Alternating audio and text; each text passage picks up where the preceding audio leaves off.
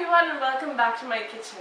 Uh, my name is Crystle and I'm so excited to share this recipe with you today because I hold it very close to my heart. Um, I actually started cooking when I first came to Canada as a student and uh, this is among the first recipes that I cooked there. It was such a trial and error and basically I took things and just threw it into a pot and tasted along the way and it turned out really great and it happens to be one of the recipes that I have saved to pass on I hope and I hope you enjoy it as much as I enjoy cooking it. So let's get started. I have a pan heating up and I'm going to put in about um, a teaspoon of oil and to that I'm going to add 5 cloves and 3 1 inch pieces of cinnamon. So throw that in and I'm just going to increase the heat. Okay, and we're just going to let the spices um, temper the oil, come to um, a nice temperature where they uh, release their flavor into the oil. So while that's happening, I'm going to start chopping my onion. And I have a really cool story behind this. So I hold my onion like this. Um, and I don't do it the right way, which is that. Because um, my dad does an amazing chopping. He does a 10 second chop. He just basically goes chop chop chop chop chop. And I can't do that. So one day he showed me how to do it the right way. And when I did that I ended up nicking myself more times than I can count. So this is how I chop my onions. And I've never cut myself ever since. Um, and yeah so that's the story behind my onion chopping. The crystal way so um, I have the oil that's come up to temperature. I'm going to throw in one large onion in there and I have some more here that I've cut previously. So we're just going to get this frying up. By frying up, what we're doing is we're just caramelizing the onions, getting it to a nice brown texture. And what this does is it adds an amazing flavor, adds a sweetness to this dish and it just offsets the almonds and the cream cheese that we're adding. Wait, I didn't tell you what this dish is called. It's called, um, I call it the creamy Philly almond chicken. While that's going on, I'm going to quickly uh, show you how I chop my garlic. So I have two garlic cloves here. I press down with my knife and with the heel of my uh, palm I just press down on it and crack open the peel. I'm going to leave uh, the root end intact and just slice down into it and then just chop it with a crystal chop. I'm going to take it and toss it right in with my caramelizing onions. Okay, so that's in the process of browning. And now when it's reached this point, when it's kind of taken on a little bit of color, but it isn't like caramelly brown, we're going to add in the spices. So um, I'm going to start off with uh, half a teaspoon of cumin seeds. Throw that right in there. And a teaspoon of ground cumin. And that goes in there. Half a teaspoon of turmeric, a quarter teaspoon of ground pepper,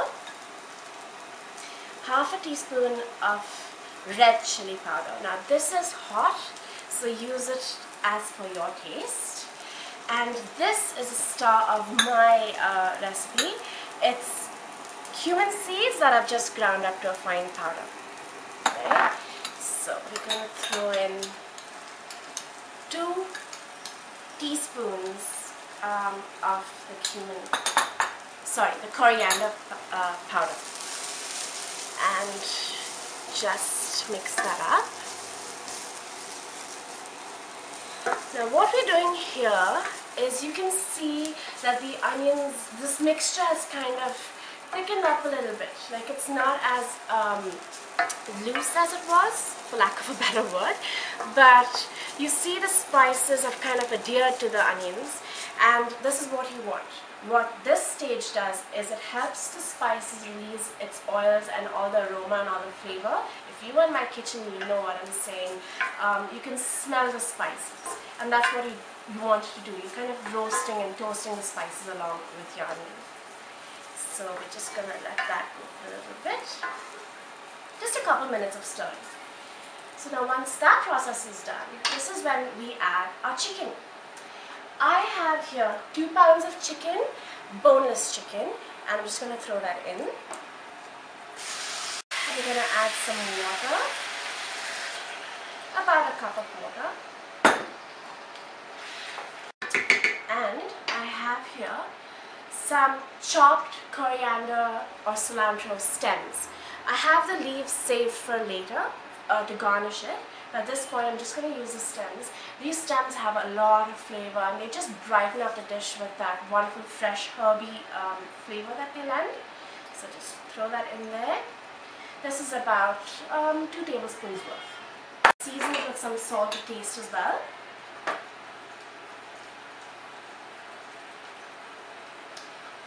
And give it a quick stir I'm going to cover it and let it cook for about 20 minutes. Okay, so this chicken has been cooking for 20 minutes. Let's give it a look. Okay, so you see it has a little bit of a gravy um, that and that's from the water and the chicken.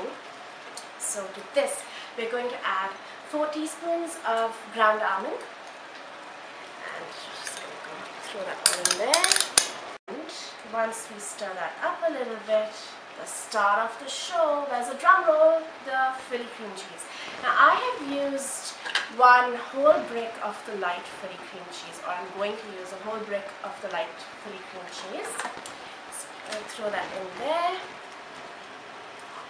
As you can see, the almonds um, have thickened up the gravy and the cream cheese has melted completely.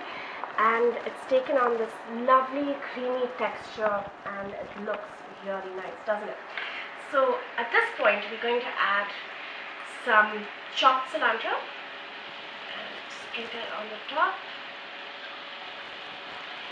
And I like adding half a lemon lime sorry half a lime or you could use lemon as well and your dish is ready so uh, let's set it up and um, I'm going to show you a really nice way to um, present it. I have the chicken served up in my serving dish um, and I have this really nice drizzle that I'd like to put on the top just to give it a little bit of a flair. So I have here 2 tablespoons of melted uh, Philly cheese. I melted it was at room temperature and I just put in the microwave for about 10 seconds just to soften it up a little bit. And here I have some canned coconut. So I'm just going to mix it in with the cheese to kind of thin it out a little bit. Just gonna put some of this creamy Philly and coconut um, mixture into the bag. It makes it so much easier to drizzle it like this.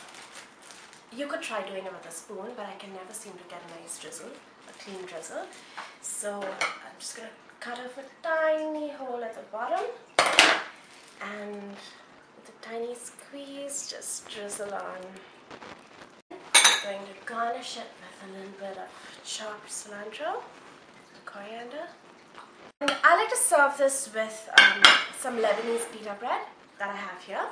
You could serve this with some Indian naan, you could serve it with rice, or why not go crazy and serve it over spaghetti? And then you can combine the Indian with uh, the Italian. Okay, let's give this a quick taste. Mmm, it tastes so good.